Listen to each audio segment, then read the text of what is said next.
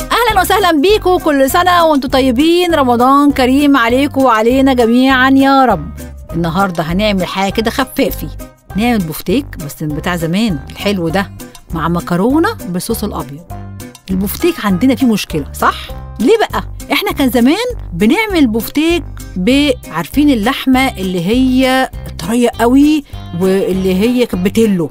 اللي ما عادش في منها دلوقتي. فكان دايما البفتيك بتلو فيطلع معاكي يستوي مظبوط ويطلع زي الفل. دلوقتي طبعا ما بيحصلش. بس إحنا بقى ناصحين. نعمل إيه؟ لازم نتصرف. نتصرف إزاي؟ لازم نتبل البفتيك حلو جدا. إزاي بقى؟ أنا هجيب لحمة البفتيك دي وأجيب كوباية مية وعليها معلقة سكر كبيرة وعليها معلقتين من الخل وأدوبهم وأنقع فيهم البفتيك ليلة. ليلة. آه. خليها ليله لو انت مش معلش يبقى إيه كام ساعة كده بس. طبعا كل ما بتسيبي البفتيك في الخلطة دي تطلع معاكي إيه بقى؟ اللحمة طرية جدا. هنقعها فيها واسيبها شوية. خلاص؟ بعد ما سبتها في المية بتاعتها دي أشيلها منها الفترة اللي انت عايزاها يعني أصلا كل ما طول الفترة يبقى أحلى هجيب مية بصل. مش بصل مبشور لأ يعني ببشر البصل وأحط عليه شوية ملح وفلفل وأسيبه قد 10 دقايق هتلاقيه نزل مية كتير جدا. أعصرها كده بإيدي على طول اعصرها بايديكي حلوة قوي كده هتلاقي بقى عندك حوالي نص كوباية مية بصل. تروحي حطاها على الايه؟ على البفتيك بعد ما شلته من الخلطة بتاعته ما تشطفيهوش لا انت هتشيلي الخلطة من غير ما تشطفيه حطيه في طبق تاني وحطي عليه مية البصل مع شوية ملح وفلفل وسيبيه منقوع فيها لغاية ما أجي اشتغل بيه. بس ما تحطيش حاجة تانية خالص. ماشي؟ يبقى أنا يا دوبك مية البصل وملح وفلفل. وقبليها كان السكر والخل هي نقعتين. معلش ما كناش بنعمل كده زمان ولكن زي ما قلت لكم كانت اللحمة طرية وحاجة تانية خالص. بعد كده بجيب البفتيك أطلعه بس برضو من حبة المية البصل دول وأروح حطاه في شوية دقيق وبعدين في البيض وبعدين في البقسماط. سهلة؟ وأروح محمراه. عندك بقى لما تكون الحتة كبيرة حاولي تقطعيها. يعني إيه؟ ما تخليهاش حتة كبيرة قوي متوسطة. ولو حاسة إن في عرق في اللحمة حاولي تقطعيه بالسكينة. يعني ما تخليش في عرق يتنيلك حتة البفتيك لا قصيها من النص. عشان لما تيجي تسوي بتلاقي في عرق كده إيه عرق دهن كده بيروح كاشش لك البفتكايه قصيه وهو ني. يعني اعملي فتحات كده. اعملي فتحات في اللحمة وبعدين تروحي إيه متبلاها وقليها في الزيت وهيكون الزيت ده سخن مش مقدوح. وسيبيه على نار متوسطة. يكاد تكون هادية. بس وقلبيه على الناحيتين ويكون الزيت قليل. الزيت مش كتير مش زيت تحمير بطاطس لأ.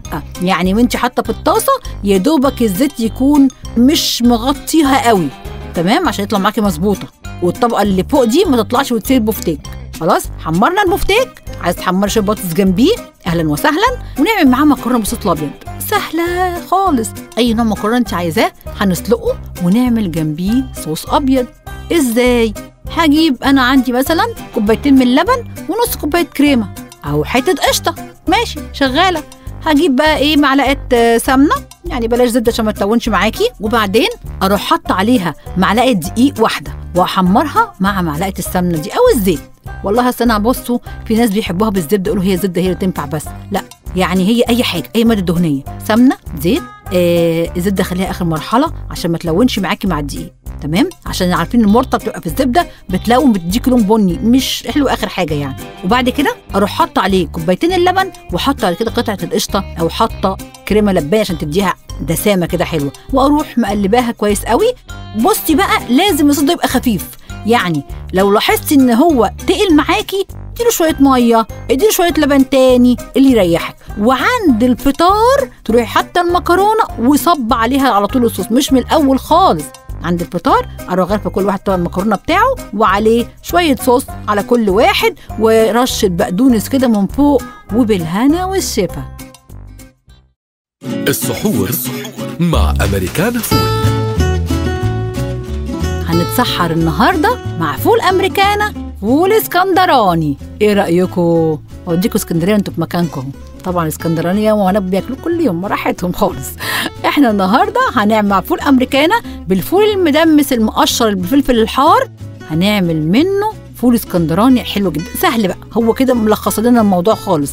هنجيب شوية زيت بصلاية مقطعة صغير فلفل أخضر مع فلفل أحمر. عايزه فلفل ألوان بقى وتدلعيه ماشي. يعني حتة حتة حتة كده آه كزبرة خضراء نجيب طبعا عصير ليمون وكمون وطماطم نقطعها صغنن خالص وبعدين بقى نعمل دقة.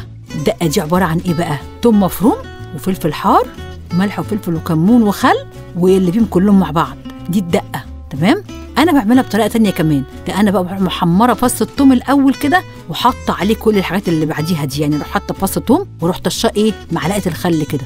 فاهمني وأروح حاطة عليها شوية إيه طماطم مقطعة. بصوا ركزوا واحدة واحدة. دي الدقة دي تحطوها مش عايزين براحتكم بس هي دي اللي بتخلي الطعم ألذ حاجة. يعني توم فص توم مع معلقة زيت وأروح محمراه. اطشه بمعلقة خل وأروح حاطة عليه الإيه الطماطم المفرومة. وأروح حاطة بقيت كل بقى اللي أنا عايزاه بقى اللي باقي البهارات دي كلها عليها بقى. ملح وفلفل وكمون وكل اللي أنا عايزاه ده. بعد كده أروح جايبة علبة فول أمريكانة أو علبتين. طبعا بس الأكلة دي بتأكل فخليها علبتين عشان هتأكلك كتير يعني قوي. هجيب النوع اللي هو المقشر بالفلفل الحار وأروح حطاه على الطشة دي وأسخن كله مع بعضه. بصلايه بقى في الآخر خالص كده في الآخر مش في الأول. دي بقى بتديكي إيه؟ طعم لذيذ كده وبتفضل مقرمشة حتة بصلايه فيها كده لذيذة جدا. وأروح مقلباها كلها مع بعضها كده واخليها تسخن وتتسحروا بألف هنا وشفا. واستنونا في الحلقة الجاية ونجوم اف ام وأحلى فطار وسحور.